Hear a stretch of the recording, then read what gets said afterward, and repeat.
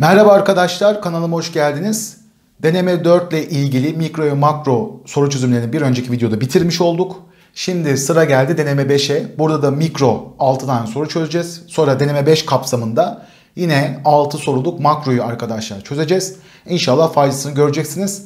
Ee, burada biraz daha özgün sorular sormaya çalıştım. Ee, biraz daha farklı sorular e, yer vermeye çalıştım. Ee, yine sizler için faydalı olacağını düşünüyorum. Peki soruyla başlayalım ilk soruyla. Biraz değişik bir soru, sert bir soru. Piyasa dengedeyken malın talep esnekliği eksi 3.2'ymiş. Arzın esnekliği ise arkadaşlar 0.8'miş. Bu piyasaya denge fiyatının %10'u kadar taban fiyat uygulanırsa aşağıdaki durumlardan hangisi oluşur diyor arkadaşlar sorumuz. Şimdi ben piyasa dengedeyken dediği için arkadaşlar arz ve talebi çizdim. Dengeyi oluşturdum. Peki esnekliklerde talep esnekliği eksi 3.2 arz esnekliği 0.8 olarak da yazdım. Peki bu piyasaya denge fiyatının %10'u kadar taban fiyat diyor. Taban fiyat ne? Taban fiyat üreticiyi korur. Denge fiyatının üzerinde oluşur. Bakın sakın dengeyi oluşturup da taban deyip de aşağıda çizmeyin. Bu hatayı yapmayın. Bakın bu çizgi hatalı bir çizgi. Taban fiyat üreticiyi memnun etmek üzere de kuruludur.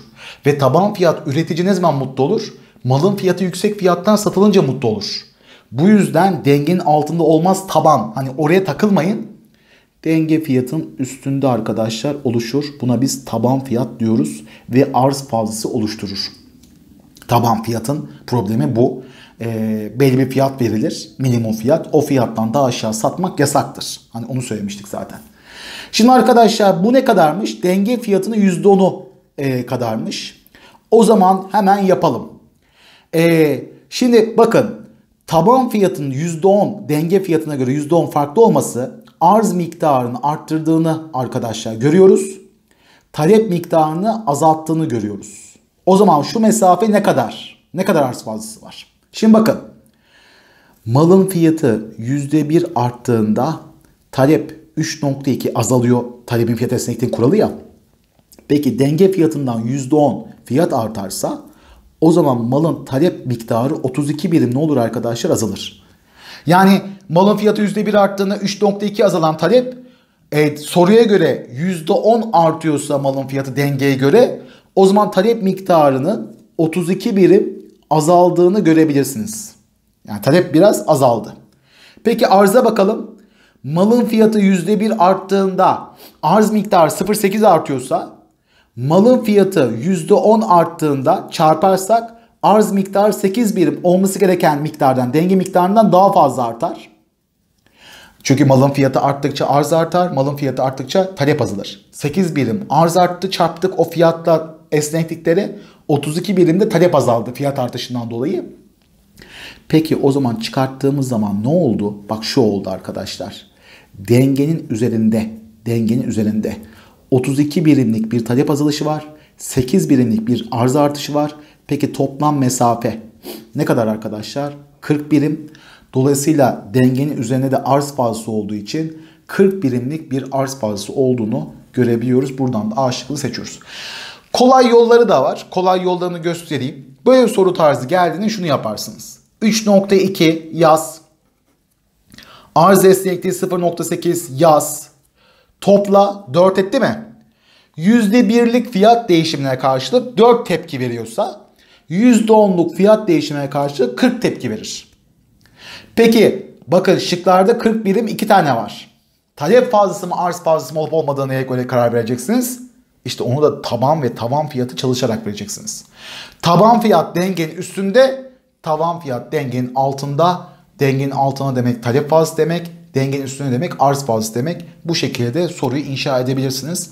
Dolayısıyla eğer soruda şöyle deseydi, bu piyasaya denge fiyatının %10'u kadar tavan fiyat getirilirse deseydi o zaman aşağıda olacaktı. 40 birimi burada işaretleyecektik. Talep fazla diyecektik. Yani değil seçecektik. 2. Bir malın arz fonksiyonu 2P ve talep fonksiyonu 21 eksi P'dir. Bu varsayımlara göre piyasa yapısına en uygun taban fiyat aşağıdakilerden hangisidir? Şimdi taban fiyat üreticiyi koruyan arkadaşlar bir etmendir. Ve taban fiyat denge e, taleple arzı kesiştirdiğimiz zaman dengenin oluştuğu yeri de gösterecek olursak taban fiyat denge fiyatın üzerinde oluşan arkadaşlar biletmendir. Az önceki yukarıda zaten çizdik. Üreticiyi korumak esas. Peki bu noktada biz ne yapabiliriz? Bana diyor ki en uygun taban fiyat diyor. O zaman denge fiyatının yukarısında bir fiyat aramam lazım. Ne yaparım? 2P eşittir 21 eksi P yaparım. Buradan 3P 21'e ulaşırım. Ve P'nin 7 olduğunu bulurum. Demek ki denge fiyatı 7'ymiş. O zaman ben 7'den daha yüksek bir rakam aramam lazım. 7'den daha yüksek zaten sadece 8 var. Diğerleri hep 7'nin altında. Yani 6, 5, 4 tavan fiyat için uygun. Ama 8 arkadaşlar taban fiyat için uygun. Ha 9 olsaydı 9'u seçecektik ama uygun fiyatı şıklarda bir tane vererek seçtiriyor. Doğru cevabı da bu noktada zaten işaretleyebiliyoruz. Peki devam ediyorum. Eşyürün eğrileri orijine göre dış bükey ise aşağıdakilerden hangisi yanlıştır? Eşyürün eğrisinin orijine göre dış bükey olması ne demek? Hemen arkadaşlar ifade edeyim. Burada L var, burada K var. Şöyle bir eğri. Orijine göre dış bükey. Cobb-Douglas demektir arkadaşlar bunun ismi. Tipik bir fonksiyondur. Demiştik zaten dersi anlatırken. Peki ee, yanlış olanı soruyor. Şıklardan o zaman eleyerek gidelim. A şıkkı. Üretim fonksiyonu Q eşittir A çarpı K çarpı L şeklindedir. Doğru. Cobb-Douglas fonksiyonunun tarzı arkadaşlar budur zaten. Hatta ölçüye göre getiri de alfa ve beta'nın toplamına arkadaşlar eşittir. Girdiler arasında ikame esnekliği 1'e eşittir. Cobb-Douglas'ta ikame esnekliği yani pasus katsayısı 1'e eşittir. Bu da doğru cevaptır arkadaşlar. Firma için iki girdili denge söz konusudur. Yani eş mahiyet eğrisi teğet olduğu zaman hem K'yı hem L'yi almak zorundayım üretimi gerçekleştirebilmek için. Yani e, köşe dengesi oluşabilmesi ihtimali yoktur demeye getiriyor. Evet bu eğri için doğru. Ölçüye göre sabit getiriyle çalışmaktadır. Yanlış. Alfa ve beta'ya bakılarak karar verilir. Peki alfa ve beta 1'e eşitse ölçüye göre sabit getiri. Alfa ve beta birden büyükse artan getiri. Alfa ve beta birden küçükse ölçüye göre azalan getiri şeklinde ifade edilir. Bu yüzden yanlış olan şıkkın D olduğunu hemen anlayabiliriz. Ve azalan marjinal teknik yağmurunu geçerli. Evet eğri dış bükü olduğu için eğri üzerinde aşağı doğru inildikçe her açının küçüldüğünü yani üretimde illa sermaye ihtiyaç olduğunu, sınırlı ikameye sahip olduğunu dile getirmiştik. Ee, peki devam edelim. 4. Piyasada bulunan X ve Y malları tam ikame mallardır. Böyle bir bilgi vermiş tam ikame mallar. Bu yüzden dikkatli arkadaşlar durmak gerekiyor. Bu piyasada MRS marjin ikame oranı Px bölü Py koşulu geçerli ise MRS büyüktür Px bölü Py geçerli ise tüketici dengesi açısından hangisi doğru olur? Şimdi şurayı bir açalım. MRS'yi açmamız gerekiyor. Peki MRS arkadaşlar ne? MUX bölü MUY olarak açılır mı? Peki o zaman şöyle yapalım. MUX bölü MUY MRS'nin yerini aldı. Farksızlık eğrisinin eğimi. Büyüktür PX bölü PY. Peki içler dışlar yapalım. Buradan da şuna ulaşmış olacağız. Şuraya geçeyim. MUX aşağı geldi PX büyüktür MUY bölü PY. Buna ulaştık. Peki hocam ne diyor bu? Denge yok bakın. Tüketici dengesi oluşabilmesi için aralarında eşitlik olması lazım. O yok. Göremiyoruz. Denge sürecine geçmemiz lazım ama uyarı şu. Tam ikame mallardır diyor. Yani X ve Y aynı mallar. O zaman X ve Y aynı mallarsa aynı marjinal faydalara sahip değil midir? O zaman aynı marjinal faydalara sahipse e, sen de arkadaşlar ona göre bir evrim geçirmen gerekiyor. Burada başka bir şey yapman gerekiyor. Bakın şimdi bir tanesi seçeceğiz yani. Tam ikame mallarda bir tanesi seçeceğiz tüketici dengesinde. Bakın bu olmasaydı cevabımız çok basitti. Fayda gördüğün maldan al, zarar gördüğün maldan kaç. Yani X malı miktarı arttırılır, Y malı miktarı azaltılır olurdu cevap. Ama tam ikame olunca bir tanesini seçeceksiniz. Peki bakalım buna 1 TL ödediğimde buna da 1 TL ödediğimde X'ten daha fazla fayda sağlıyorum. Y'den daha az fayda sağlıyorum. O zaman tüketicinin dengesi nasıl çalışır akıllı bir tüketici? Mala, maldan daha fazla fayda sağladığı malı arkadaşlar seçer. O zaman buradan da hareketle ne derim? Sadece parasıyla X malı satın alır arkadaşlar. Başka bir mal almaz diyebiliriz. Ve bu aynı zamanda köşe dengesini oluşturur.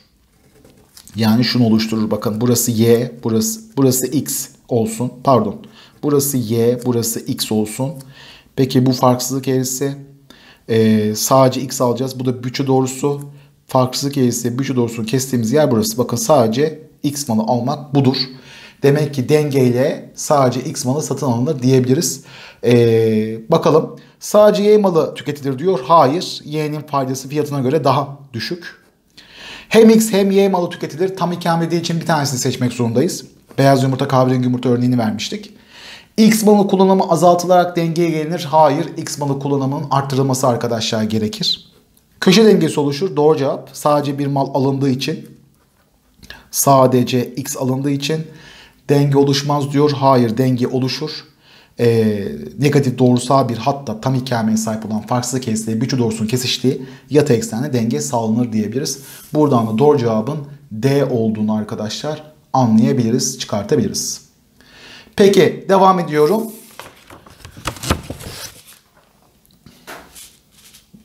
Bu denemenin arkadaşlar 5 ve 6. numaralı e, sorularını görmektesiniz mikro açısından. Hemen 5 okuyarak başlayalım. Monopol piyasasına ait talep denklemi P 36 eksi 3Q'dur. Bu firmanın marja mait fonksiyonu MC 2Q artı 4 ise firmanın denge durumunda oluşacak tüketici rantı kaçtır diye bir soru sormuş. Gayet yerinde bir soru yani güzel bir soru. O zaman şöyle diyelim. Firmanın denge durumu diyor. Kar maksimizasyonu MRMC yapacağım. Ama öncesine şekil çizmem gerekiyor. Şöyle kocaman da bir şekil çizelim. Burası Q. Burası P. Peki monopolde ters taleple çalışılır. P ile başlıyor. 36 eksi 3Q. Peki MR'de altına yer almakta. Ee, eğiminin iki katı. Ters talep fonksiyonunda eğimin iki katı. Bu da MR'dir. O da arkadaşlar 36 eksi 6Q. Peki MC eğrisi 2Q artı 4'müş. Ee, o zaman 4'ten başlayan Q'ya 0 verdik ya. MC 4'ten başlayan bir eğri olduğunu arkadaşlar görüyorum. Ve şimdi rantı görelim bakalım. Şimdi bak MR ile MC'nin kesiştiği şu noktada denge var. Aşağı doğru indiğimiz zaman firmanın dengede ne kadar üretim yaptığını bulacağım. Peki yukarı doğru çıktığım zaman da firmanın o malı kaçtan satacağını bulacağım. Şurada görmüş olduğunuz üçgende tüketici rantını oluşturacak arkadaşlar. Peki o zaman yapalım. E, MR eşittir MC.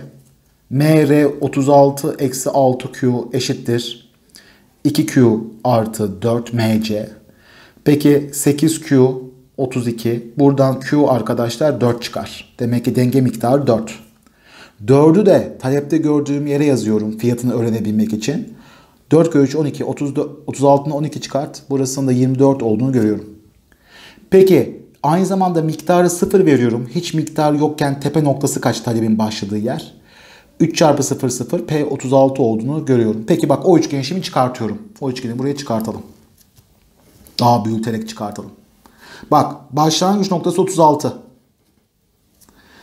Bitiş noktası 24. Peki e, yatay kısmı yatay kısmı aynı zamanda şurası üretim miktarı 4. Yani 12 fark var burada. Burada 4 var zaten mesafe. Üçgen alanı 12 çarpı 4 bölü 2. Buradan da ne çıkar arkadaşlar? 24 çıkar. Dolayısıyla 5'in doğru cevabı Bursa olur. Evet ne yaptık? Depar bulduk. Eğimin iki katı dedik. MR'yi bulduk. MC'yi kesiştirdiği yerde denge miktarını elde ettik. O miktarı talep fonksiyonu Q gördüğümüz yere yazıp fiyatı bulduk. Demek ki bu şirket 4 tane mal üretip tanesini 24 TL'den satıyormuş. Peki rant denge fiyatının üstünde talep eğrisinin altına kalan taralı alanda zaten şekilde gösterdik. Ee, Tabi başlangıç noktasını bulabilmek için de talep eğrisine miktarı sıfır verip fiyatın 36 olduğunu bulduk. İşte taralı alanında burada ne yaptık arkadaşlar? Hesapladık ve buradan da 24 çıktığını bulduk. Ve son sorumuza geçiş yaparak noktaya koyalım.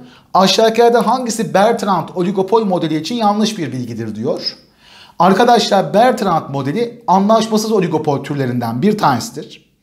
Fiyat rekabeti vardır. İki tane duopol şirketi vardır. Ee, safça davranışta bulunurlar. Hatalarından ders çıkartmazlar. Biri karını maksimize eden fiyatı elde ederken e, diğer arkadaşlar fiyatın değişmeyeceğini varsayar. Bunlardan bahsetmiştik. Peki bir bakalım. Anlaşmasız oligopol modellerinden bir tanesi doğru. Bir firma karı maksimize eden fiyatı belirlerken diğer firmanın miktarı hayır fiyatı değiştirmeyeceğini varsayar. Burası yanlış. Fiyat rekabeti sonucunda fiyatlar marjinal maliyete eşit olur. Aynı öyle. İki şirket rekabet ede ede fiyatlar marjinal maliyet seviyesine iner. Yani tam rekabete eşit olur üretim. Aynı zamanda oligopol modelleri içerisinde en fazla üretim de Bertrand modeline aittir demiştik arkadaşlar. Her iki firma aynı zamanda üretime başlarlar. Evet. Her iki firma hatalarından ders çıkartmazlar. Zaten ders anlatırken saf trik olduklarını söylemiştik. Dolayısıyla A, C, D, E doğru ama şu kısım yanlış.